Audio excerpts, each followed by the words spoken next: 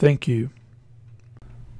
Hello everybody, my name is Craig Bennett and I'm the founder and owner of TechView Help and today I'm going to get into parental control permission within your devices. Now I'm going to be showing my stuff on a Windows but this will go across the board and I keep getting asked questions on the best parental control, third party parental control and I keep pushing it off because the fact is is there's never 100%. A lot of people don't want to hear it I'm going to say it right now, there is no substitute between you as a parent talking to your kid. Now, with this being said, I'm not a parent at this time, but the fact is, is there's no hardware and no software that you can't bypass in some form or fashion. I don't care how much money you spend on it. It, it even you'll see in government systems, people are able to bypass it very easily with the minimum knowledge or, or just asking the right person. It, it's, it's that simple. So, no matter what you do, these steps will hopefully help you protect, but at the end of the day, you have to prepare for the day that the person, their kid or whatever, actually goes to a site or something that um, they see something that might scar them because there again is no protection but it will slow down that to hopefully at the point where you're ready for that conversation. But anyways with that being said now i want to mention that there's two major things two systems eh, there's three systems i really to talk about but there's two major things. There's whitelist and a blacklist. You might know what i'm talking about if you do, great. You've been paying attention to some of my videos. What a whitelist is basically a blacklist is everything besides these certain things. So say for example, if you're okay with a kid going to Facebook and you're okay with a kid going checking their email and doing some small minor things, you can actually whitelist say Facebook, their email site, and so on. And everything else, everything is blocked. Simple as that. Or you can have blacklists, and basically anything on that list is blocked, and anything outside of it is not. And you might be saying, okay, the blacklist might be a better option because with the whitelist, you got to know about every single site. And let's say you forget Wikipedia or some other sites, that's probably going to be useful. The fact is, is well, you got a whitelist, and it takes a lot more effort on your part. Or the blacklist, the problem with that is there the failure rate is so high that you might as well not have a list at all. That, that's just the fact. And same thing with white and black lists. The, the you get false positives all the time, and basically you're, you're going to get a major problem. Now the other thing I want to talk about is hardware and software protection. The difference between having a physical device protecting you and then having something on the say phone or computer that protects. It's very important to know the difference. So jumping on in let's start with a couple hardware. Now with this again the hardware and software failure works very similar. And I'm using my router for this example. Just pulling this real quick in most routers, you'll find that they use similar features. They use a parental control, a block site list, a block service list, schedules, and even stuff like mine with, or, or the router.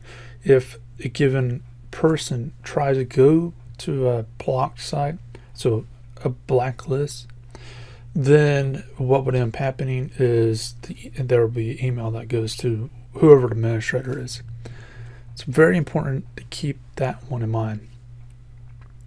But it's also very important to keep in mind that these are not 100%. The uh, let's put it this way: it's so much not 100% that there's governments, the um, China and a few other governments, that are regularly trying to block certain sites and block certain things from their citizens. And the fact is, is they're failing. So even a major country cannot even protect or not really protect, but block certain things because people are able to get around it. They know the IP address. They can find an IP address. They, uh, th- they there's other sites that they go through that tunnels through. There's many ways they go around this stuff, and that's the problem. Is is it doesn't work that well.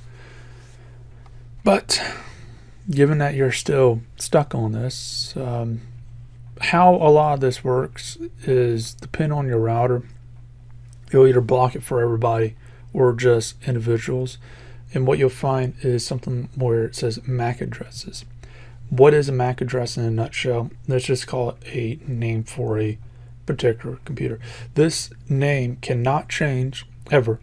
It is associated from the manufacturer and there's supposed to be I, I don't believe it but you know so far there's no proof otherwise there's supposed to be no two devices with the same MAC addresses in the world or ever in, in creation now the chances that that's why I don't believe it but the truth of the matter is is chances if you run by two devices same name or same MAC address that's you know that's that's pretty low too so with that being said, what you need to keep in mind is you can block per device, but let's say, okay, the person that you're trying to protect, they use another device.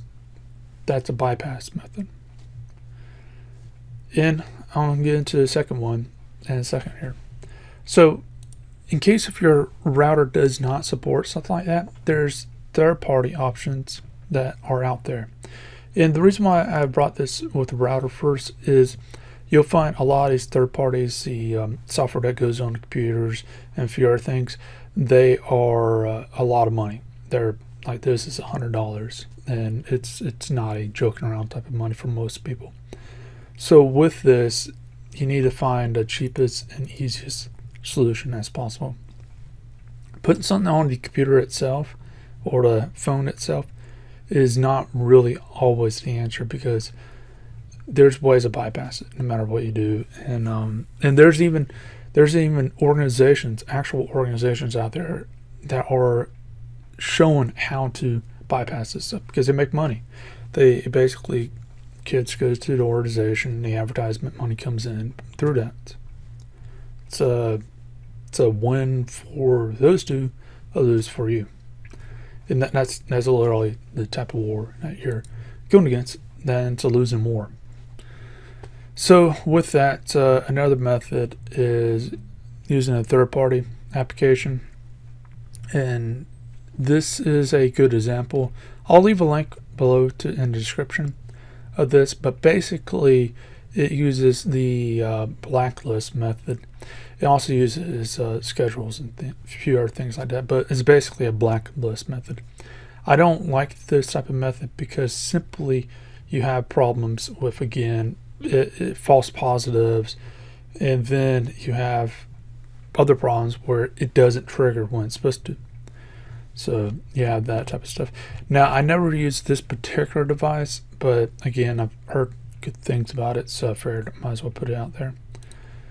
Now, with this, there's other things. If you know how to modify your router, and I'm talking about actual the operating system on it, there's other options that are making it easier. And you can use something like this. I'm also going to leave a link to this. If you don't know how to do that stuff, forget that. Because I'll tell you, I'll tell you the second thing I was going to talk about. It's simply that what happens if your kid or whoever that you're trying to protect simply just connects to your neighbor's Wi-Fi. That's the problem. Using software, you can bypass it very easily using different accounts and then doing other things, unless if it's the computer's truly, truly, truly locked down, which takes a lot of effort on you to just keep it that way. It makes it almost useless as the kid grows up, and it, it, it it's not a winning thing for you at the end of the day.